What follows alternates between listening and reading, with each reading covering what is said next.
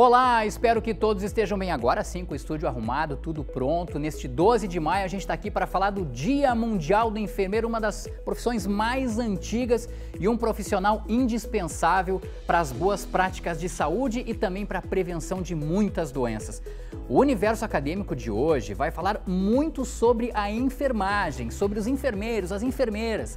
A professora Carla Ferreira, coordenadora do curso de enfermagem aqui da Universidade Franciscana, é uma das nossas convidadas. A gente tem também aqui a Karine Bissacote, que é aluna, está na reta final do curso de enfermagem e eu gostaria de agradecer muito a presença de vocês duas aqui no estúdio da UFN TV, porque recentemente a gente tem recebido os participantes, os convidados, as convidadas aqui no estúdio. Graças a Deus, por conta né, do calendário vacinal, da vacinação, a gente está de volta podendo receber as pessoas aqui no estúdio. Muito obrigado pela presença de vocês. Vou pedir licença, já vou sentar aqui. Professora Carla, hoje, 12 de maio, né, Dia Mundial do Enfermeiro, uma das mais antigas profissões, como eu coloquei ali. Mas o que, de fato, o que faz um enfermeiro, uma enfermeira? Quais são as atribuições deles? Tudo bem? Tudo bem, eu agradeço né, esse convite para compartilhar nesse dia tão especial, que é o nosso dia, né, o dia da enfermagem, que é a profissão que, que eu escolhi e que tantos outros escolheram para cuidar das pessoas. Na verdade, o enfermeiro está, uh, ele atua em todos os cenários que tem cuidado e atenção à saúde das pessoas. Mas daí as pessoas pensam assim, ah, ela está lá no hospital, ela está na unidade básica, ela está na rede, na estratégia da saúde da família. Não, ela vai muito além desses espaços. Ela está na empresa, né? ela está nos grupos corporativos, gestando pessoas, na gestão do cuidado direto, mas também na gestão do serviço, dos processos de trabalho da enfermagem. A enfermagem, ela atua como uma grande líder frente à equipe de saúde, à equipe de trabalho. Como as novas práticas de enfermagem também se adaptaram à tecnologia, de certa forma, como a tecnologia ajuda o profissional de enfermagem hoje? Então, a tecnologia nos, tem nos aproximado muito, principalmente daquele público que não pode vir até a atenção primária, ou enfim, aos outros cuidados mais especializados. Tem a questão da telesaúde, né, professora? Exatamente. Isso é uma inovação que a gente já, já neste ano de 2022, nós já inserimos como laboratórios formativos, que a professora, nossa pró-reitora veio falar também aqui na UFN TV, a respeito da nossa novidade, né, que são uh, desenvolver as, os, os, soft skills e as hard skills, né, que nós precisamos, outras habilidades, competências, tanto de comportamento, como atender essas tecnologias que estão aí uh, para realmente aproximar o cuidado da enfermagem e da saúde como um todo, porque toda a área da saúde está trabalhando para que novas atuações por meio do telesaúde venham atender a população. E então essa novidade, né, nessa nova matriz nossa também de enfermagem, deixando de ser só um laboratório formativo, ela vai passar a ser uma disciplina também uh, obrigatória no currículo da enfermagem, também como um telestágio e outras possibilidades dessa agregando essa nova as tecnologias de inovação. Sim. Bom, nesse 12 de maio não seria diferente. Vocês estão promovendo várias atividades no curso de enfermagem. Na verdade, promoveram né, muitas atividades nesse dia do, do, enfermeiro. E uma delas foi no Hospital Casa de Saúde, professora Carla, com profissionais e acadêmicos da UFN. O professor do curso de enfermagem aqui da UFN, Silomar Ilha, ministrou palestras sobre sistematização da assistência da enfermagem, ferramenta de empoderamento do profissional da área. Ele também salientou a importância de falar sobre o trabalho desenvolvido pelos enfermeiros nas mais variadas áreas de atuação. Vamos dar uma olhadinha então o que, que ele tem para falar aí? A SAI ela é uma metodologia de trabalho do enfermeiro que está sendo cada vez mais implementada na prática clínica e ela realmente é uma metodologia de trabalho né, que, que coloca então o enfermeiro nessa condição de avaliador, de avaliação clínica. Então o enfermeiro, a partir da SAI, ele desenvolve algo que a gente chama de processo da enfermagem, que é uma metodologia de trabalho, né, que é o, o, as etapas do, do, cuidado ao paciente. O enfermeiro ele é o gestor, ele é quem gerencia todo o processo. Então todo o cuidado que chega até o paciente, ele é prescrito, ele é gerenciado por um enfermeiro, dentro da unidade, da, das instituições hospitalares, da atenção primária, das clínicas, nos seus consultórios particulares, em qualquer lugar que ele esteja, ele é o gestor. E falar sobre isso é muito importante. Né? É muito importante hoje, no dia de, da maior dia de visibilidade, do dia de discutirmos a atuação do enfermeiro, é importante que a gente fale realmente que a população tenha compreensão do que é ser enfermeiro, né? que é realmente esse gestor do cuidado e esse profissional que faz toda a diferença no dia a dia das pessoas, né? Mas é muito importante também esse contato entre profissionais, acadêmicos, professores, quem já fez pós-graduação, quem já está graduado com mestrado, doutorado, se encontrar assim e poder falar sobre isso, né? É, na verdade, o, o, a, a, esse, todo esse trabalho que o professor Silomar veio a compartilhar e, inclusive, discutir, dialogar com esses profissionais, especialmente no Dia do Enfermeiro, para relembrar e para uh, motivar a, a equipe de enfermagem o quanto o enfermeiro gerencia o cuidado e essa sistematização da assistência de enfermagem, que é o processo de enfermagem, que muitos uh, não entendem às vezes, mas o que, que é? O diagnóstico do cuidado, o que fazer, como implementar, como prescrever, precisa e está sempre muito uh, sendo discutido dentro das, das nossos ambientes, tanto de hospitalares como nas unidades básicas, que tem um outro processo de tematização. Então, na verdade, ele é uma metodologia de trabalho do enfermeiro que traz com esse raciocínio clínico do enfermeiro a melhoria do cuidado à população. E realmente, estudos e evidências científicas, científicas cada vez mais estão trazendo o quanto impacta no, na resolutividade e na, na, na resolução da doença, ou enfim, da terapêutica do paciente. Na Perfeito. Doença. Kaline, você está em qual semestre do curso? Eu estou no, no semestre, semestre do curso. Se encaminhando já para o final, né? Sim. Tudo isso que a professora Carla estava falando, assim, você percebe aqui no curso de enfermagem da UFN, vocês conseguem obter, trocar, tipo, aprender e também ensinar? Ah, eu percebo uma, essa prática muito, uh, muito prevalente no curso. Desde, de, desde que a gente inicia a graduação, a gente está discutindo sobre SAI, a gente está discutindo sobre a resolutividade do cuidado, uh, modos de estar tá vendo uh, não só uma face da doença, mas várias faces e várias formas de enfrentar orientações. Então, é muito prevalente essa discussão no curso e eu acredito até é, entre as, os momentos de prática, a gente acaba encontrando colegas que estão no início ou no final de graduação.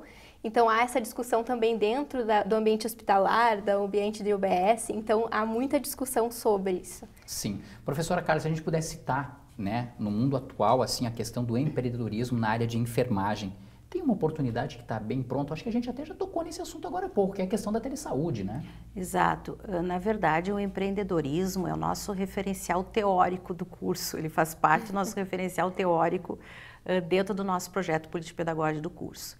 Então, ele, na verdade, o nosso perfil do profissional enfermeiro, e daí talvez traga o diferencial do curso de enfermagem, nota 5, que vem de uma trajetória de 67 anos, que né, é pioneira né, no Estado. Então, na verdade, isso faz com que o nosso perfil, o perfil do nosso profissional, saia empreendedor. E o empreendedor o, o, enfermeiro que sai com esse perfil empreendedor, ele vai em busca de novos campos de atuação, novas áreas de atuação e ele é protagonista totalmente do processo. Então, uh, vindo ao encontro desse perfil empreendedor, dessa nova modelagem acadêmica, com essa te tecnologia que está bastante avançada dentro da universidade, nós levaremos a esses espaços de atuação e os cenários e a outros profissionais de saúde. E quem ganha? A sociedade a comunidade. Que é o principal objetivo, objetivo sempre, né, sempre. do trabalho de vocês. Bom, a gente sabe também, professora Carla, que o curso de enfermagem aqui da UFN, ele tem uma forte vocação para atividades extensionistas,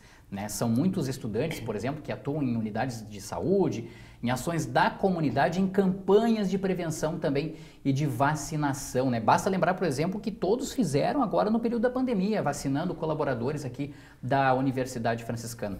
É, na verdade, uma preparação que começa em sala de aula e tem, por exemplo, em laboratórios. Por isso, professor, eu vou levantar, vou me dirigir aqui, porque está na hora da gente colocar a Laís Lacerda no programa. A Laís vai dizer para a gente em que parte aqui da UFN ela está e que informação ela traz. Tudo bem, Laís? Olá, Jareta. Eu estou aqui no prédio 17 do conjunto 3 da Universidade Franciscana, no Laboratório de Habilidades. Eu vou entrar aqui no laboratório onde está ocorrendo uma aula prática do terceiro semestre do curso de enfermagem. Como a gente pode ver, é uma turma só de meninas, né?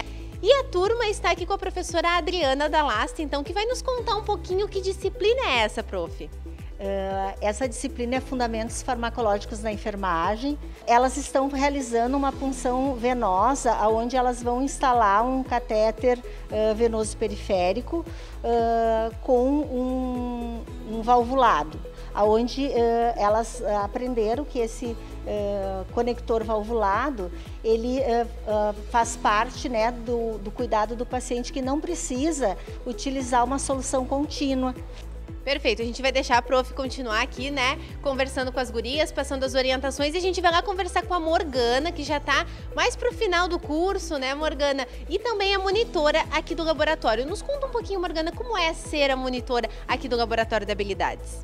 É, vejo que é muito importante essas atividades práticas no decorrer do curso, porque a gente chega nos semestres finais nos estágios e a, é muito mais, a gente tem muito mais, a, melhora a relação e também a técnica, né? A gente realmente é bem preparado durante todos os 10 semestres que a gente passa por aqui. A instituição é maravilhosa, a experiência que a gente tem aqui é maravilhosa, os professores são ótimos. Perfeito, Morgana. A gente vai dar continuidade aqui no nosso giro, né? Que a gente entrou aqui no laboratório, então, na aula da professora Adriana. E eu vou conversar com a Lisiele. Lisiele, eu queria que tu me contasse um pouquinho o que, que tu tá achando do curso. Para mim sempre foi um sonho fazer enfermagem, né? E através do laboratório a gente pode desenvolver melhor nossas habilidades para trabalhar no hospital, né? Gereta, agora eu vou conversar com a Marcela, que está colocando então a técnica em prática no braço realístico com a orientação da professora Adriana. Uh, são técnicas bem importantes para o nosso desenvolvimento, para nossa formação, para a gente chegar até o paciente com uma maior preparação, com segurança. A enfermagem traduz isso, traduz o bem-estar, a gente passa a gente faz com que o paciente se sinta bem. É isso então, Jareta. A gente acompanhou um pouquinho então, né, da prática do terceiro semestre do curso de enfermagem aqui no laboratório de habilidades do prédio 17, aqui do conjunto 3 da Universidade Franciscana, e eu volto contigo agora no estúdio. Valeu, Laís. Isso, volta, volta porque você está sendo daí quase uma enfermeira já, né, Laís, de tantas informações aí. Professora Carla, a gente viu ali uma nova geração de enfermeiros e enfermeiras que está vindo aí. A Karine, inclusive, representa isso e é uma geração já de enfermeiros e enfermeiras que vem com uma novidade muito legal. Afinal de contas, todo mundo que trabalha, que tem uma formação, busca também uma remuneração adequada. Recentemente houve a aprovação de um projeto de lei que estabeleceu o piso salarial para a categoria de enfermagem. Aliás, era uma reivindicação histórica sobre isso, né? Eu gostaria que a Karine falasse um pouco sobre isso para a gente. Karine, como é que você, como futura enfermeira, vê essa possibilidade, vê essa adequação definida, dá uma segurança maior também para realizar a atividade e uma certeza da profissão escolhida? Dá, dá para a gente respirar um pouco mais fundo agora, né? É o sentimento de valorização porque agora, dia 4 de maio, foi votado e aprovado né, o piso salarial de enfermagem, que até então estava em pauta, a gente estava lutando para a gente conseguir esse salário digno. Uh, então, ficou um salário estipulado de 4.750 para os profissionais enfermeiros, graduação, 70% para a categoria dos técnicos e 50% para os auxiliares. Então, eu acompanhei esse processo, eu votei, inclusive, para ir em pauta. Os profissionais se uniram para tá, a gente realmente não desistir essa vez, então foi muito lindo ver a união de toda a categoria, ver a luta de toda essa categoria atrás do piso, para valorizar realmente né, esses profissionais que estão diariamente junto, que estão diariamente prestando cuidados a toda a população. Essa área da enfermagem não é só esse projeto de lei que traz uma novidade aí não. A Universidade Franciscana também tem novidade, porque historicamente o curso de enfermagem, né, ele sempre foi oferecido no turno de, eh, de dia, pela manhã, integral aqui, né? Agora, no vestibular de inverno, que tem inscrições até o dia 31 de maio, o curso de enfermagem está oferecendo vagas para o noturno. O Márcio Santos vai facilitar um pouquinho a nossa vida. Ele vai colocar as telas do vestibular aqui, ó. Deixa eu ver qual é que ele vai colocar primeiro. Medicina, ó, inscrição, 210 reais até 31 de maio. Prova no dia 10 de junho, 50 questões, mais a redação da 1 e meia, 5 e meia para medicina. Os outros cursos oferecidos agora no vestibular de inverno da UFN, inscrição até a mesma data, 31 de maio, R$ reais a inscrição. São três formas de ingresso, você está vendo na tela aí. Um desses cursos, professora, é o curso de enfermagem noturno. Como é que vocês receberam essa informação? O que, que isso representa para o curso de enfermagem? Já havíamos um projeto, um planejamento há mais tempo uh, de uma matriz ofertada à noite mediante a busca e a procura de profissionais pelo turno da noite. Então a proposta já vinha sendo planejada, não foi uma, um, uma proposta de um minuto para o outro, a gente planejou há bastante tempo e agora então foi aprovado pela Pró-Reitoria de Graduação e pela instituição essa oferta. E a gente espera a, atender a população que vem há bastante tempo fazer um curso de enfermagem nota 5 na UFN. Olha só, nota 5, re recomendado, referendado, avaliado pelo MEC, a nota máxima que um curso pode obter. Então, com certeza isso deve deixar vocês muito felizes e, para tanto, estão oferecendo no turno, no, no, turno da noite também agora no vestibular de inverno. Quero agradecer a presença de vocês aqui no programa Universo Acadêmico para falar do Dia do Enfermeiro, um dia especial para vocês, né? Posso dar um, bom, um feliz Dia do Enfermeiro para a professora Carla. Daqui a pouquinho eu estou dando já também para a Karine, mas já estou antecipando também. Parabéns, parabéns pela escolha, né? Que possa trazer um, um futuro muito legal para você. Sabe quantos alunos a senhora já formou? Só uma, uma, uma dúvida assim, professora, rápida. Olha, eu estou há 19 anos na instituição, multiplicado por 30, 40, daí, olha. Aí é um, é um, um número infinito, né? Mas eu gostaria, Rogério, pedir a permissão de parabenizar todos esses enfermeiros no dia de hoje, esses profissionais tão dignos de respeito, que qualificam o cuidado das pessoas, que fazem a promoção da saúde, que gestam equipes. Enfim, eu gostaria muito de todo o coração dedicar assim, um parabéns assim muito um abraço muito afetuoso a todos esses profissionais, que eu respeito muito. Mais uma vez, muito obrigado pela participação de vocês. Recebam esses parabéns e recebam da gente também parabéns, porque realmente trabalharam e trabalharam e trabalham muito ainda pela saúde aqui no Brasil. Pessoal, quem gosta de eletricidade, tecnologia, inventar objetos eletrônicos, a UFN tem uma oferta bem legal. Confere aí. Let's rock.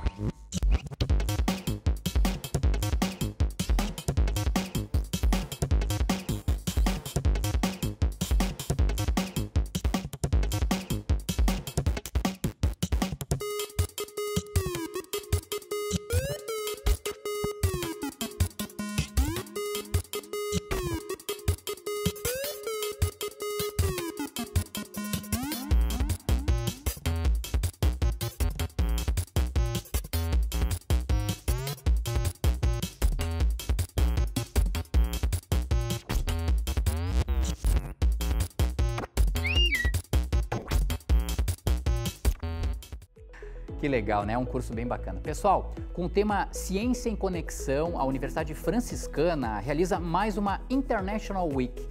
É a terceira edição de um evento marcado por gente do mundo todo, que faz graduação, pós-graduação, que já atua em alguma profissão e que volta as atenções aqui para a Universidade Franciscana.